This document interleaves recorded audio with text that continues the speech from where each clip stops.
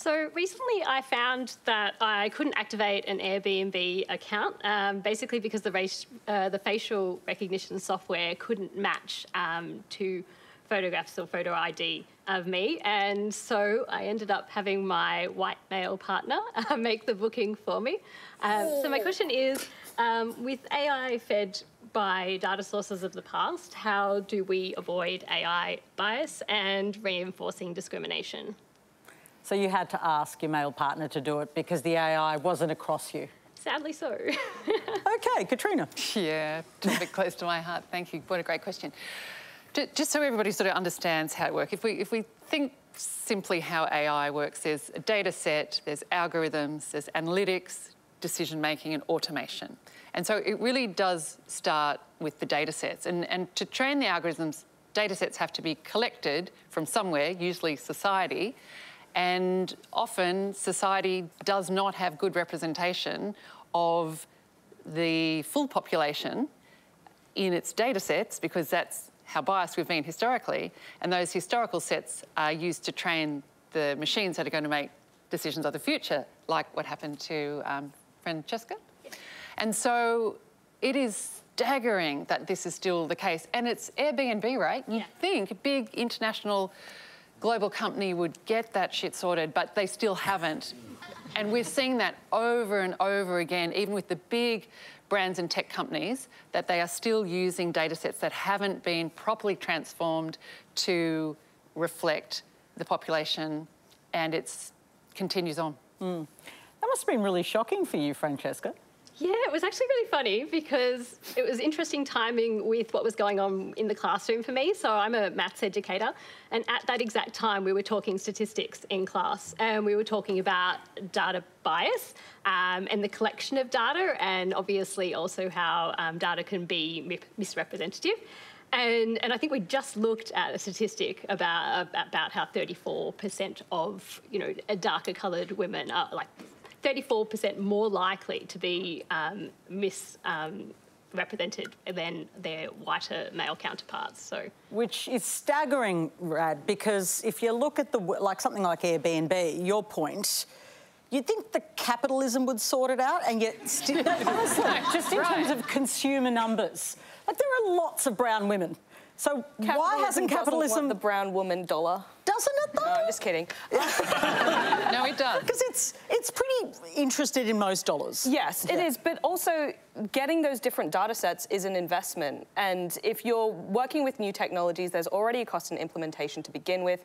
It's not necessarily at the forefront of your mind to be like, oh, and we need to make sure that it's diverse and we need to make sure that those data sets are giving us what, you know, a, a diverse data set. So because the technology is still new, I think it's very easy for them to get very excited that it's being implemented at all. But if I can be a little bit optimistic, because we love optimism here, um, I think that we, it is... We need it, kind of, we need, moment, We need yeah. a bit of it. I think it's one of those areas that really puts a spotlight on these biases, because you have real examples where something doesn't work. It's very easy to ignore a bias when it's just like, oh, you know, maybe I didn't get promoted, maybe uh, over a um, coworker, and maybe that was because of bias, maybe it wasn't. When it's a little bit more hidden, it's easier to ignore. But when it's, I literally cannot use this service because the AI isn't working, then that really makes you go, hang on a second, we have a real problem here. Mm. But this is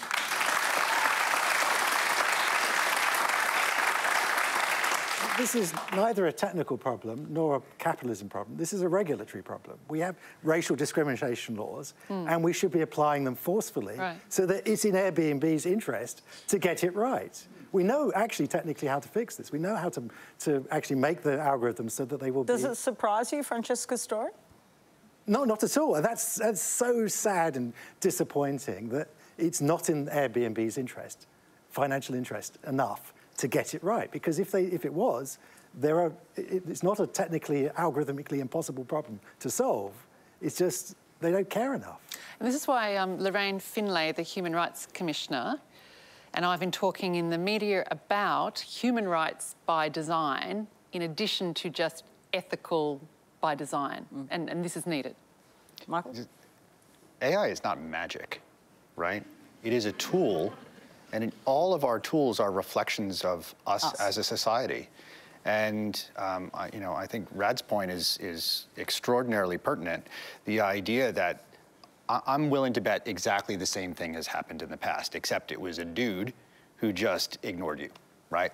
And the the nefarious and insidious aspect of that is that it was hidden. It's your word against someone else's, and now now it's a repeatable bit of computer code, and you can show that this bias really exists. I actually am hopeful, hopeful, not optimistic, hopeful that. Is that like a notch down? it's, it's one below. Uh, it, it's like half a, half a rung down the ladder. I like that. I'm hopeful that this will actually shine a light on some of the biases that have been present for decades or centuries and may help us start a conversation to address them. How much is the CSIRO in your work aware of that kind of bias?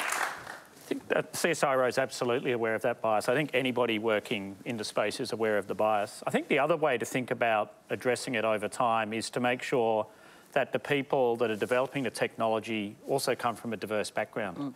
And we've seen that challenge in STEM for as long as STEM has been around. And we've made a little bit of progress, but it's certainly... quite incremental, though, it's isn't it? incremental. Mm. And, you know, I think, again, if we had women of colour who were designing the algorithms that went into Airbnb, I bet my bottom dollar that the algorithms would be better at the end. So I think we need that diversity.